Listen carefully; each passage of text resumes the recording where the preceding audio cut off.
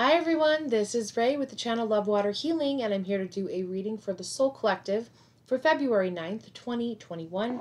I'll be using the Magical Messages Fairy Card Oracle cards for the reading today.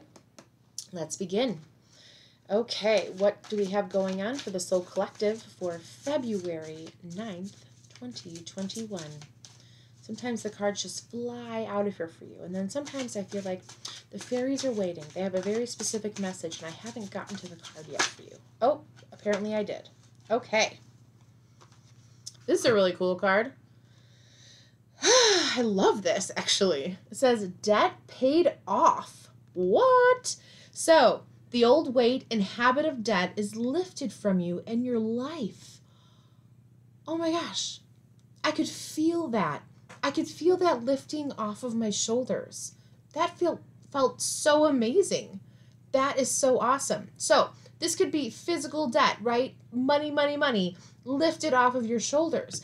But this old weight and habit of debt is lifted from you in your life. Debt can mean so many different things. Maybe you feel indebted for something in your life. And it doesn't have to be money. Maybe you felt guilty or indebted to another person, place, thing.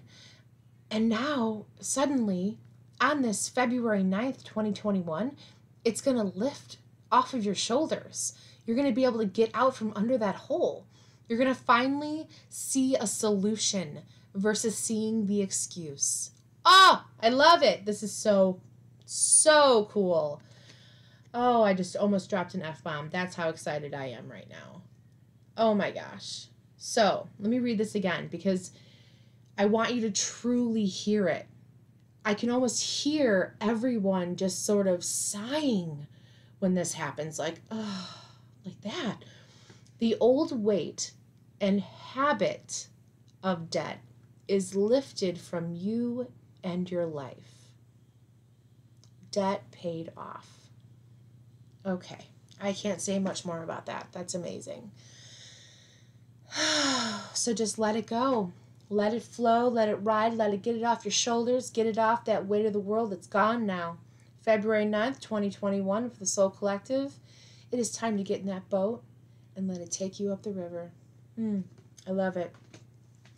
As always, thank you so much for coming and watching my channel. Don't forget to like below, and I will see you on the next video. Don't forget, love your water and love yourself. I love you.